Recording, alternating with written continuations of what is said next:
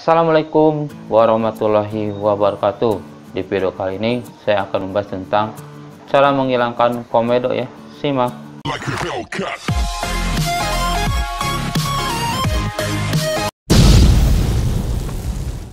Sebelum kita membahas cara menghilangkan komodo, kita kenalan dulu ya. Komodo itu apa ya?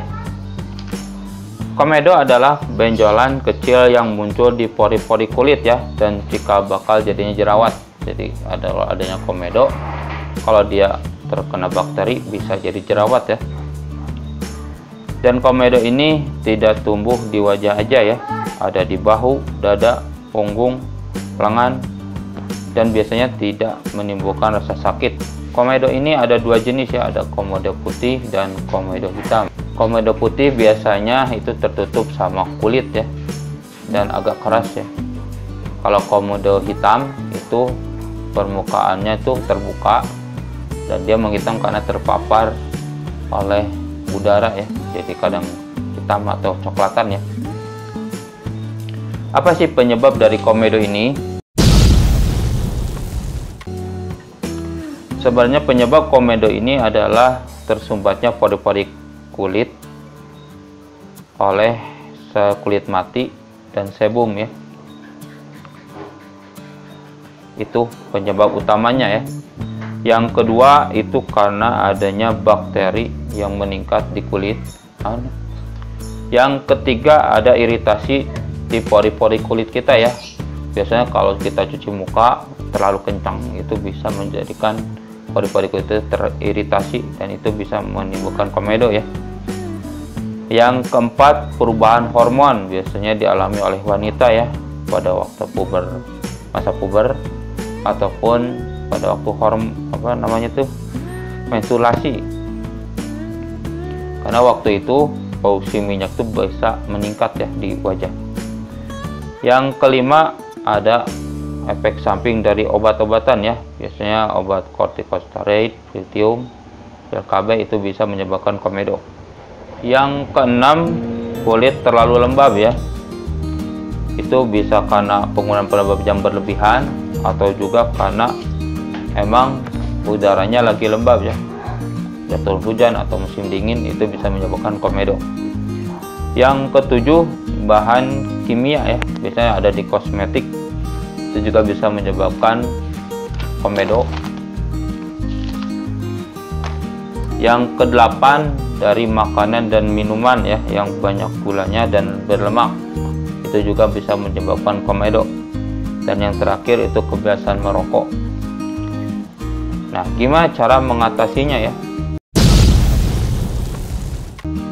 Untuk cara mengatasinya kita bagi dua ya. Ada dalam kedokteran ataupun dalam pengobatan eh, secara ilmiahnya alami ya dari kedokteran kita yang pertama itu ada krim krim penghilang komedo. Itu bisa biasanya di apotek ada yang jual bebas ada juga yang harus resep dokter ya. Yang kedua menghilangkan komedo secara manual ya. Bisa dipencet pakai alat itu bisa. Yang ketiga pakai terapi laser terapi laser bisa untuk mengurangi produksi minyak berlebih dan membunuh bakteri. Yang keempat pakai peeling ya. Itu biasanya mengelupaskan sel kulit di bagian luar sehingga si sumbatan pori-pori itu akan terangkat ya. yang kelima itu mikrodermabrasi ya. Itu membersihkan bagian terluar dari permukaan kulit dengan alat ya supaya sumbatannya hilang ya itu dari kedokteran. Ada juga yang secara alami. Itu yang pertama dengan lemon dan madu ya. Itu dicampurin nanti dimasukin ditempelin ke komedonya. Biar nanti si komedonya hilang dan itu dibilas ya.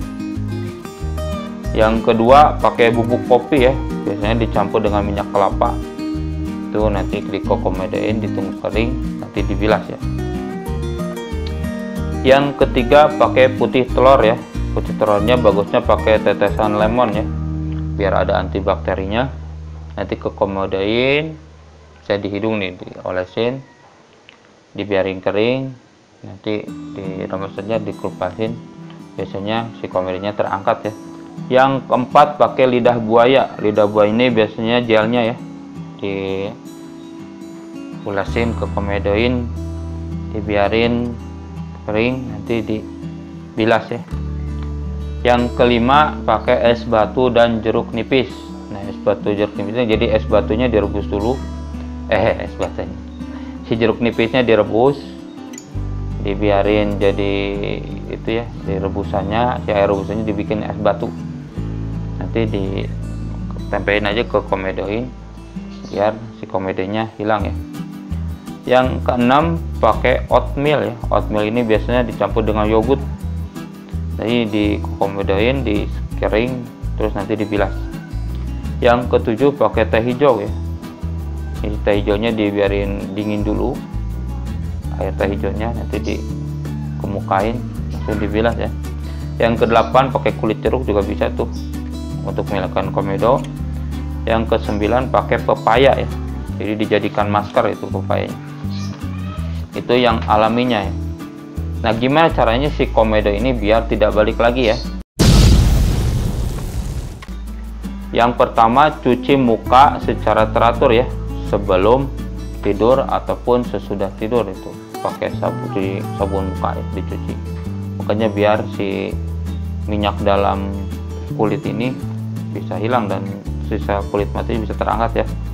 Bagusnya yang ada sekrupnya itu cuci mukanya. Yang kedua, keramas tiap hari ya. Terutama bagi kulit apa rambut yang berminyak ya. Karena si minyak dari rambut itu bisa menutupi pori-pori kulit dan nanti komedonya datang lagi ya. Yang ketiga jaga kebersihan tangan dan kuku ya. Biar si kotoran pada tangan itu tidak nempel di wajah kita ya. Yang keempat cuci sarung bantal dan spray. Itu seminggu sekali minimal ya. Kalau udah kalau sebelum seminggu sekali udah kotor juga dicuci aja ya.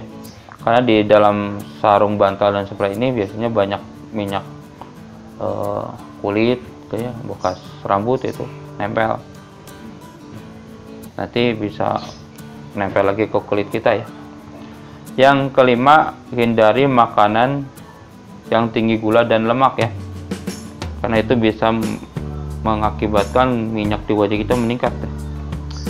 Yang keenam, menggunakan produk perawatan kulit yang bisa mengangkat kulit mati ya. Bisa masker ataupun produk yang mengandung skrup ya. Itu bagus buat kulit kita biar tidak komedoan. Yang tujuh, gunakan produk perawatan yang tidak mengandung minyak ya. Jadi misalnya kosmetik tidak mengandung minyak lotion tapi sudah tidak mengandung minyak. Jadi enggak hindari yang ada minyak-minyaknya ya biar uh, tidak ada komedonya ya. Mungkin itu yang bisa saya sampaikan tentang cara menghilangkan komedo. Semoga bermanfaat ya. Jangan lupa subscribe like comment dan share. Terima kasih. Assalamualaikum warahmatullahi wabarakatuh